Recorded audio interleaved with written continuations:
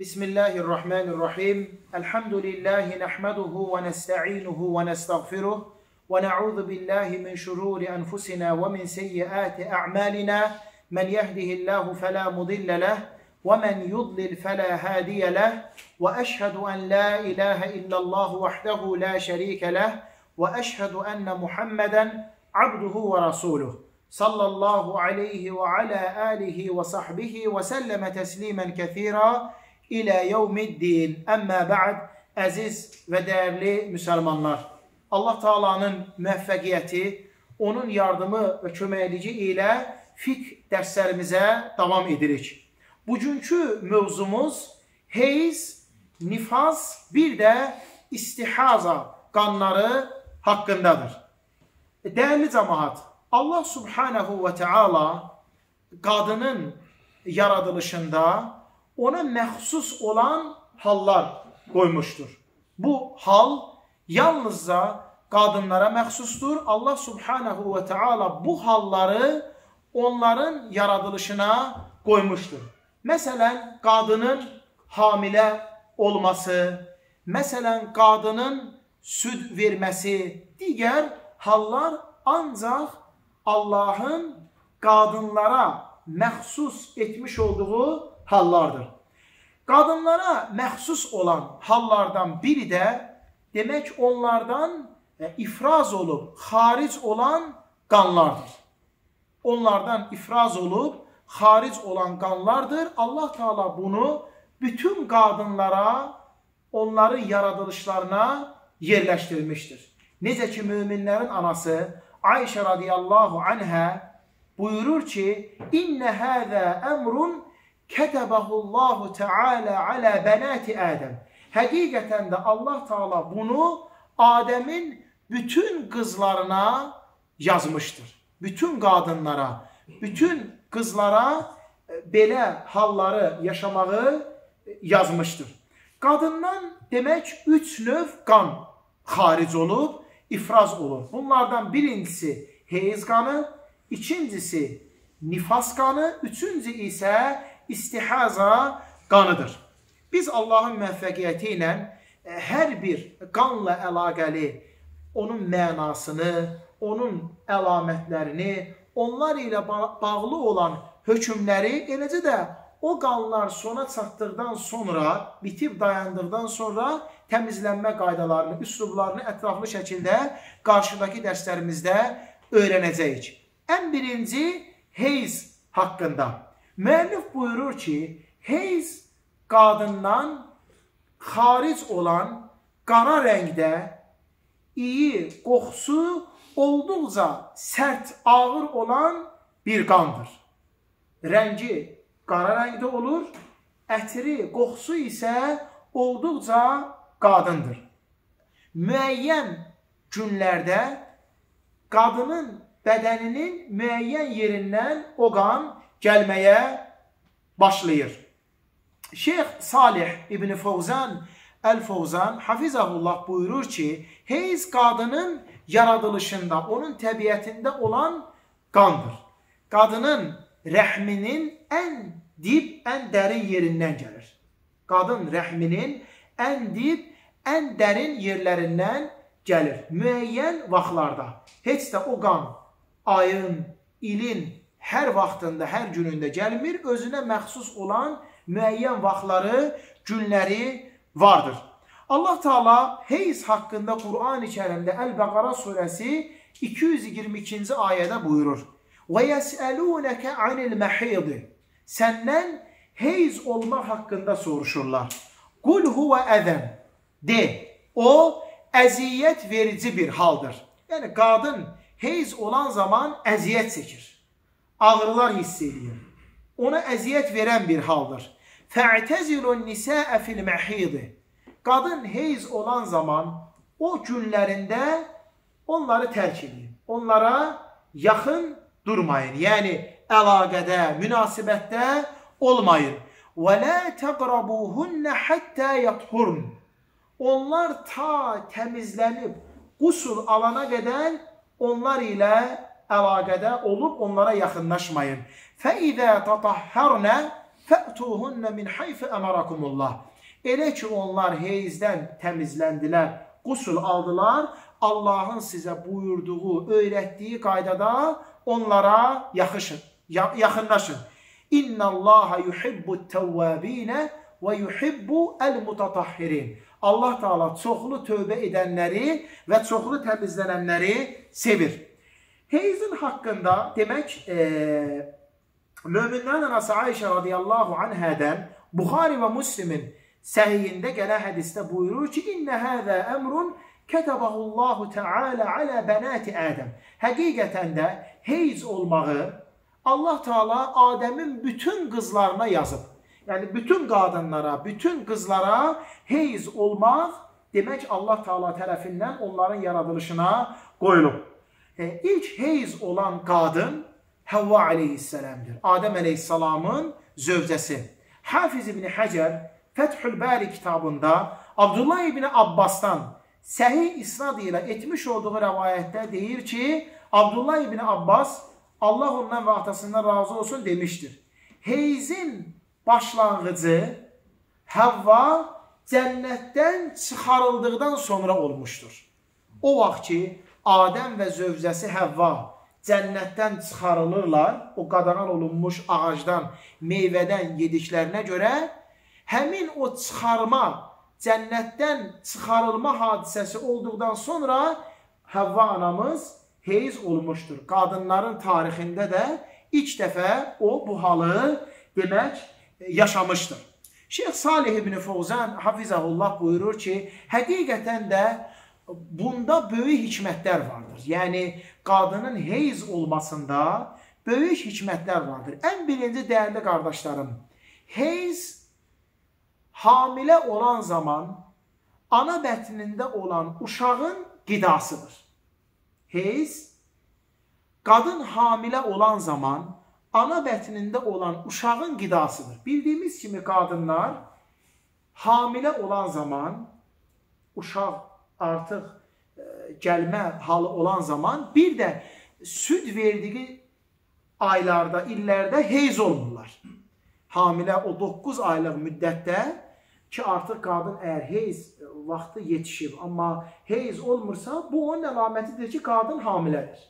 Qadın hamilədir. Həmin vaxtı qadın heyz olmur. Bir də süd verdiyi, demək, süd əmizdirdiyi e, aylarda və illərdə qadın heyz olmur. Həmin o, e, demək, o qanı Allah subhanahu və teala e, bətindəki uşağa qida olaraq verir. O çevrilir qidaya, o heyz çevrilir qidaya və bətindəki uşaq ondan faydalanır. Ona görə ki, o qidalanmağa ehtiyaclıdır. Hər nə qədər ana bətnində olsa belə, onun da qidalanmağa ehtiyacı vardır. Bunda da böyük hikmətlər vardır ki, əgər demək o uşaq qadının hamiləlik dövründə yedici, içdiyi qidalardan bərabər faydalansalardı, o zaman qadın zəif düşərdi və o uşağı 9 ay bətnində gəzdirə bilməzdi. Bildiyimiz kimi hamiləlik ağır bir yəni dövrdür. Yəni qadın e, əziyyətlər çəkməyinə baxmayaraq, günbəgün zəiflik çəkməsinə baxmayaraq uşağı 9 ay bətnində gəzdirir. Və əgər qadın o hamiləlik dövründə yemiş olduğu qidalardan onsuz da hamilə olan zamanda yaxşı qidalana bilmir. Hər şeyi yeyə bilmir. Ondan sonra həssas olur, iyə qarşı, dada qarşı az bir şeylər yeyir. Əgər o az bir şeydə də uşaq qadınla qidalanmada şərik olsalardı, o zaman qadın zəif olardı və o övladı, uşağı daşıya bilməzdi. Lakin Allah subhanahu və taala öz hikməti ilə həmin o heyz e, qanın çevirir qidaya və o uşağın ana bətindəki qidası olur. Qadın isə qazanmış olduğu, yemiş olduğu qidalarla öz bədəni qidalanır. E, eləcə də, e, eləcə də demək, süd əmər uşağı süd əmizdirən vaxtlarında, yəni uşaq süd əmən dövrdə də qadın demək heyz olmur. Şeyx buyurur ki, çox az hallarda, çox az hallarda görürsən ki, e, qadınlar hətta hamilə olan vaxtı belə heyz olurlar. Yəni hamilə qadın belə heyz ola bilər. Lakin bu çox nadir hallarda baş verir. Elə ki uşaq dünyaya gəldi, elə ki uşaq dünyaya gəldi, Allah Taala o heyz qanın çevirir südə. Çevirir südə və qadının sinəsində toplanır. Qanı qadının sinəsində toplanır və uşaq da ondan demək yeyir, o süddən əmir və ondan qidalanır. Bu qədər hikmətlidir dəyərli qardaşlarım. Əvvəla əvvəla demək qadın e, əziyyət çəkə-çəkə heyz olur adi vaxtlarında. Sonra demək e, evlənir, ailə həyatı qurur, nicah olur e, və hamilə qalandan sonra, hamilə qalandan sonra o qan çevrilir, olur e, uşa uşağa ana bətnində qida, qidalanma maddəsi. Elə ki uşaq dünyaya gəlir, qadın uşağı doğur, həmin o qan bu dəfə çevrilir nəyə? Südə. Qadının sinəsində toplanır və uşaq o sudu əmərək ondan qidalanır. Elə ki, demək, e, süd əmmə dövrü də sona çatandan sonra Allah Taala o e, halı qaytarır öz əvvəlki halına və başlayır qadın süd əmmə dövrü də qurtarandan sonra yenə də heyz olub e, demək e, təmizlənməyə. Ona görə də çox nadir hallarda süd verən qadın heyz olur. Çox nadir e, demək hallarda süd verən qadın e, heyz olur. E, əksər hallarda qadın hər ayda 6 ya 7 gün heyz heyzli müddəti yaşayır. Yəni 6 ya 7 gün demək heyzli müddət, müddəti yaşayır. Bu bəzi insanlarda, bəzi qadınlarda çox olur. Bəzi qadınlarda isə az olur. Bəzilərində müddət çox uzayır, bəzilərində isə müddət çox azalır. Bunların hamısını inşallah keçəcəyik. Yəni heyzin ən uzun müddəti nə qədər olur, ən qısa müddəti nə qədər olur? Bunları inşallah öyrənəcəyik. Heyzlə əlaqəli bilməmizdə vacib olan hökmlər bunlardır ki, bilməmizdə deyərkən daha doğrusu qadınların bilməsində vacib olan hökmlər bunlardır ki, qadın heyz olan zaman namazları qılmır, dayandırır. Allah Resulü sallallahu aleyhi və səlləm buyurur ki, qadın ki heyz oldu, namazları tərk edir. Əgər oruç tutursa, oruç tutursa orucu asılır. Oruç tutursa orucu açılır. Məsələn, qadın Ramazanda əgər heyz olarsa, o zaman orucları tutmur, orucu açılır. 6 günmü, 7 günmü, neçə gün ki heyz olur, o, o müddət ərzində oruç tutmur. Heyzdən təmizlənəndən sonra həmin 6 günlük, 7 günlük namazların qəzasını qılmır. Amma orucların qəzasını tutur. Ta bir il ərzində növbəti Ramazana qədər o qəzaları tutur. Necə ki, Ayşə radiyallahu anhə buyurur ki, kunna nahidu ala ahdi Rasulillah sallallahu aleyhi ve sellem. Biz Allah Resulü sallallahu aleyhi ve sellemin zamanında heyz olurdur. Fekunna nu'meru bi qada'is savmi ve la nu'meru bi qada'is salâ.